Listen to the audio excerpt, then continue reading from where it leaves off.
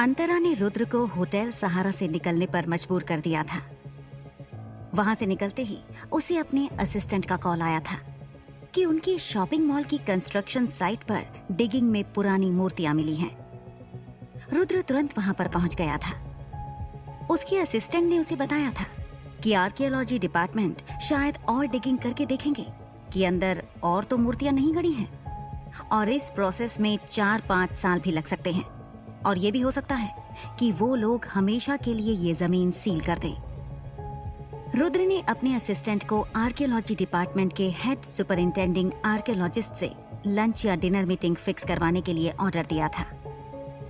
आखिर में रुद्र ने कहा, और हाँ कुछ एंटीक चीज़ें खरीदवा लो। हमारे पास वाली ज़मीन में हम भी ये एंटीक चीज़ें गाड़ेंगे। अब उन्हीं की जबान में उन्हें जवाब देंगे। इतना बोलकर रुद्र वहाँ से निकल गया था और ऑफ़िस चला गया था। दोपहर में फिर से रुद्र के असिस्टेंट का कॉल आया। Sir head superintending archaeologist mister Kapil Diwan से बात हो गई है। वो आज डिनर पर मिल सकते हैं। और उन्होंने पूछा है कि आप उन्हें कौन से रेस्टोरेंट में मिलने वाले हैं? ये सुनकर रुद्र के चेहरे पर जीत की मुस्कुराहट आ गई। उसे लगा था कि आर्कियोलॉजी डिपार्टमेंट का हेड शायद मना करेगा या तो आना आनाकानी करेगा। लेकिन वो इतनी जल्दी मान गया। इससे रुद्र थोड़ा हैरान हो गया था। रुद्र ने फ़ोन पर अपने असिस्टेंट को जवाब दिया। मिस्टर दीवान से कहो, उन्हें जो जगह पसंद हो, वहाँ पर हम डिनर करेंगे। तुम उनसे पूछकर मुझे लोकेशन मैसेज कर देना। इतना बोलकर रुद्र ने फ़ोन काट दिया और फिर से अपने काम में लग गया। कुछ देर में उसके फ़ोन पर मैसेज आया। मैसेज पढ़कर रुद्र चिढ़ गया। मैसेज में लिखा था कि हेड आर्कियोलॉजिस्ट कपिल दीवान आज रात आठ बजे होटल सहारा के रेस्टोरेंट में मिलेंगे। ध्रुव मन ही मन कपिल दीवान को कोसने लगा कि उसे और कोई जगह नहीं मिली थी। आज सुबह जब अंतरा ने रुद्र को किसी चूहे की तरह अपने रूम से भगाया था, तब से होटल सहारा से रुद्र को नफरत हो गई थी। हालाँकि अब उसके पास कोई चारा नहीं था, क्योंकि उसने खुद ही कपिल दीवान को लोकेशन चुनने को कहा था। आखिर में रुद्र ने खुद को ये कहकर मनाया कि उसे सिर्फ़ डिनर के लिए ही तो जाना है। फ़िलहाल अपनी फीलिंग्स को साइड में रखकर उसे कपिल दीवान के साथ दोस्ती बनाना बहुत ज़रूरी था। काम में कब वक्त बीत गया पता नहीं चला। शाम होते ही रुद्र घर गया और तैयार होकर होटल सहारा के लिए निकला।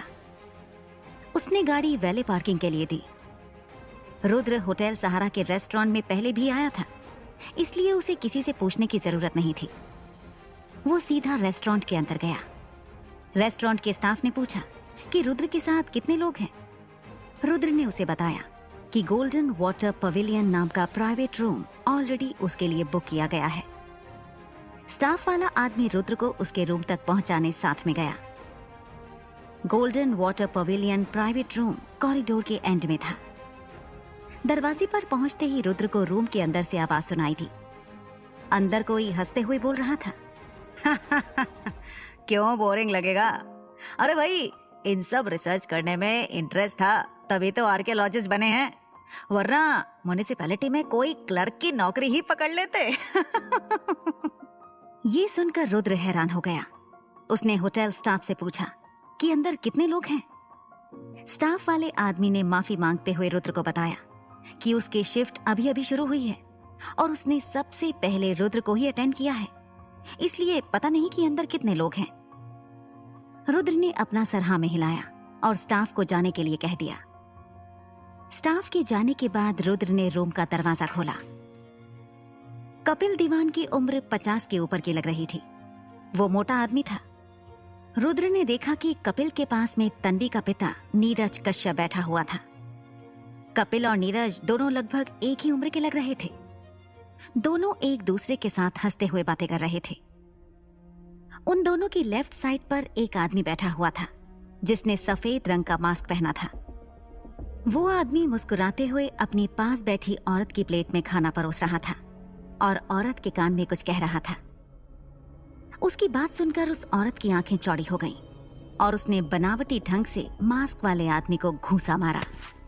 अंतरा ने कहा, पहले आप अपने बिज़नेस की बातों में ध्यान दो। मैं खाना खा लूँगी। आप फ़िक्र मत करो। अंतरा को लगा था कि उसका कश्यप अंकल के साथ डिनर है, इसलिए वो आई थी। लेकिन यहाँ आकर पता चला कि हेड आर्कियोलॉजिस्ट कपिल देवान भी नीरज के साथ में है। हालाँकि मिस्टर शेडो को किसी की नहीं पड़ी थी। उसे तो बस अंतरा को खाना खिलाने में इंटरेस्ट था।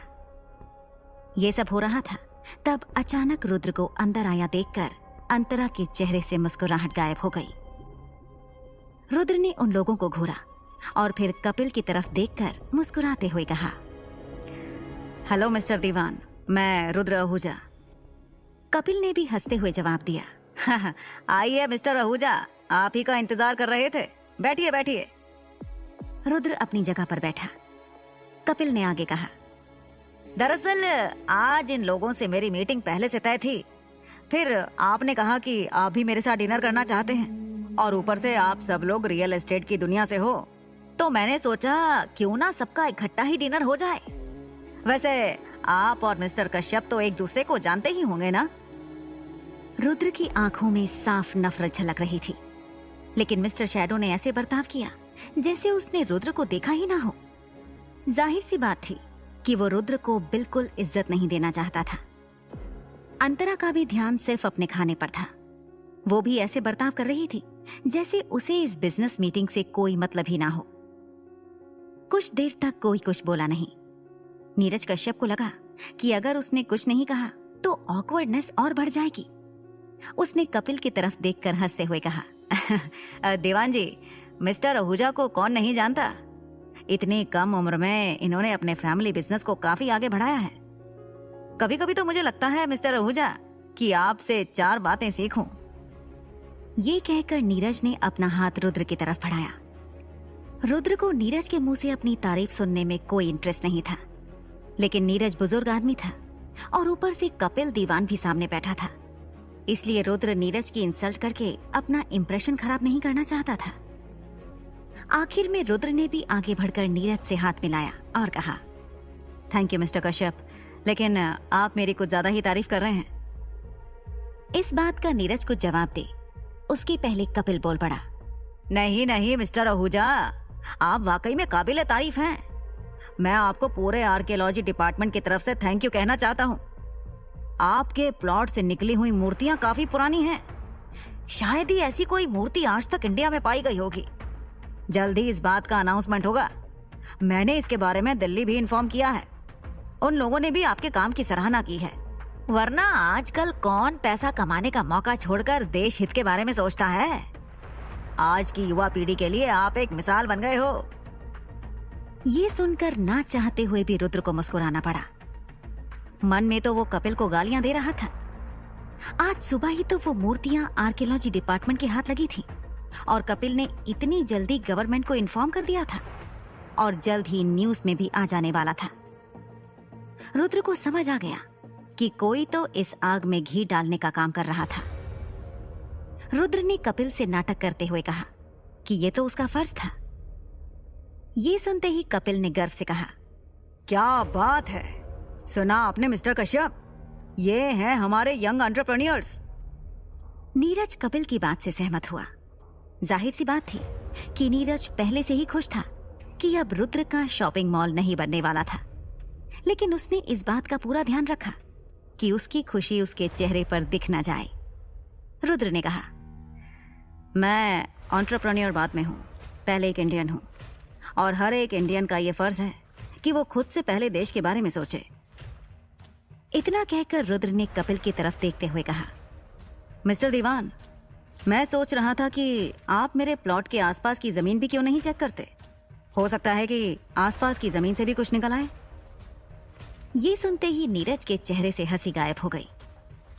रुद्र की ज़मीन के पास में उसकी ज़मीन थी, जिसे खरीदने में उसने भी करोड़ों रुपए खर्च किए थे। रुद्र की बात का साफ़ मतलब था कि वो अपने साथ साथ नीरज का प्रोजेक्ट भी बंद करवाना चाहता था। मिस्टर शैडो और अंतरा भी चुपचाप उन लोगों की बातें सुन रहे थे। रुद्र की बात सुनकर कपिल भी सोच में पड़ गया। उसके चेहरे के हाव भाव से लग रहा था कि वो रुद्र की बात से सहमत था। कपिल ने कहा, मिस्टर आहूजा की बात तो सही है। क्या कहते हो, मिस्टर कश्यप? आप कोऑपरेट करोगे ना? नीरज ने ऑकवर्ड होकर जवाब दिया, अरे दीवान जी मिस्टर आहूजा की ज़मीन से मेरी ज़मीन थोड़ी दूरी पर है। अब ऐसा ज़रूरी तो नहीं है कि उनकी ज़मीन से मूर्तियाँ निकली तो मेरी ज़मीन से भी निकलेंगी। खाम खा आपका वक्त बर्बाद होगा। नीरज की बात सुनकर रुद्र ने तुरंत टोका कि अभी थोड़ी देर पहले ही नीरज ये कह रहा था कि उसे रुद्र से चार बातें सीखनी चाहिए। तो अब नीरज अपनी बातों से क्यों मुकर रहा है? नीरज को समझ आ रहा था कि रुद्र जानबूझकर उसे फंसा रहा है। नीरज ने रुद्र से कहा, मिस्टर आहूजा आप ऐसी बातें क्यों कर रहे हैं? ये सुनकर रुद्र ने सीधा कह दिया, मिस्टर कश्यप, आप ज़्यादा भोले बनने का नाटक ना करें। आप और मैं दोनों जानते हैं कि मेरी ज़मीन में से ये मूर्तियाँ कैसे निकली हैं। इतना बोलकर रुद्र ने मिस्टर शैडो और अंतरा की तरफ़ इशारा करते हुए आगे कहा, इन दोनों को भी पता है कि ये सब कैसे हुआ है। अगर मेरा प्रोजेक्ट रुक जाएगा तो मैं आपका प्रोजेक्ट भी चलने नहीं दूँगा। ये सब बातें सुनकर कपिल को समझ नहीं आ रहा था कि ये दोनों बिजनेसमैन उसके साथ क्या खेल खेल रहे थे। लेकिन उसे ये ज़रूर समझ आ गया था कि रियल एस्टेट वर्ल्ड के दो महारथी, नीरज और रुद्र की आपस में बिल्कुल नहीं बनती थी। कपिल को लगा कि कहीं सबका साथ में डिनर प्लान करके उसने कोई गलती तो नहीं कर दी। जो भी हो, फ़िलहाल माहौल कपिल को ही ठंडा करना था। उसने आगे की बात रोकते हुए कहा, अरे भाई, शांत हो जाइए। हम यहाँ डिनर करने आए हैं। पहले खाना खाते हैं, बातें तो बाद में होती रहेंगी। कपिल की बात सुनकर नीरज ने तो कुछ नहीं कहा। लेकिन रुद्र काफ़ी गुस्से में था। वो नीरज को इतनी आसानी से नहीं छोड़ना चाहता था। आज कपिल दीवान के सामने रुद्र नीरज की इज़्ज़त मिट्टी में मिलाना चाहता था। उसने कहा, मुझे तो तब से दाल में कुछ काला लग रहा है, जब से मिस्टर कश्यप ने वो ज़मीन खरीदी है। कोई इतना भी दिलदार कैसे हो सकता है कि इतना बड़ा प्लॉट आधे दाम में बेचे? आप कोई गलत काम तो नहीं कर रहे हो ना, मिस्टर कश्यप? ये सुनकर अब नीरज को भी गुस्सा आने लगा। उसने कह दिया कि भले ही वो ज़मीन उसे आधे दाम में मिली थी, लेकिन ऐसी डील क्यों हुई थी? इस बारे में ना रुद्र को पूछने का हक है, ना नीरज को कोई सफ़ाई देने की ज़रूरत है। इसके जवाब में रुद्र ने कहा, आपको बिल्कुल सफ़ाई देने की ज़रूरत नहीं है, लेकिन अगर गवर्नमेंट की प्रॉपर्टी पर कब्जा हो रहा है तो एक रिस्पॉन्सिबल सिटीजन होने के नाते मुझे इस मुद्दे पर सवाल उठाने का पूरा हक है। तो बताइए, मिस्टर कश्यप, आपने किससे ये ज़मीन खरीदी थी? कम से कम आप पुराने ओनर का नाम तो बता ही सकते हैं। नीरज को समझ नहीं आ रहा था कि वो क्या जवाब दे। वो ज़मीन मैंने बेची थी। अब तक चुप बैठे मिस्टर शैडो ने धीरे से ये कहा, सबने एक साथ उसकी तरफ़ देखा।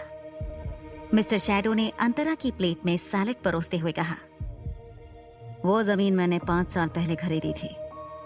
अगर मिस्टर आहूजा को मेरी बात पर यकीन नहीं है तो सब रजिस्ट्रार ऑफ़िस जाकर पता कर सकते हैं। मिस्टर शैडो ने एकदम शांति से यह कहा था। उसका लहजा रुद्र के गुस्से लहजे से बिल्कुल उल्टा था। थोड़ी देर के लिए रुद्र भी चौंक गया था। तुमने मिस्टर कश्यप को यह ज़मीन बेची थी? बिल्कुल। अंतरा के लिए तुमने अपना 300 करोड़ का नुकसान कर लिया। मिस्टर शैडो ने जवाब दिया कि अंतरा उसकी गर्लफ्रेंड है। और नीरज कश्यप के परिवार ने हमेशा अंतरा को अच्छे से ट्रीट किया है। इसलिए वो बस नीरज कश्यप को इस बात का बदला चुका रहा था।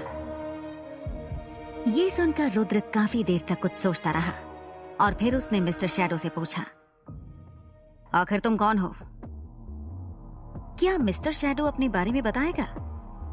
क्या मिस्टर शैडो के रहस्य से पर्दा उठने वाला था? ये डिनर शांति से खत्म हो पाएगा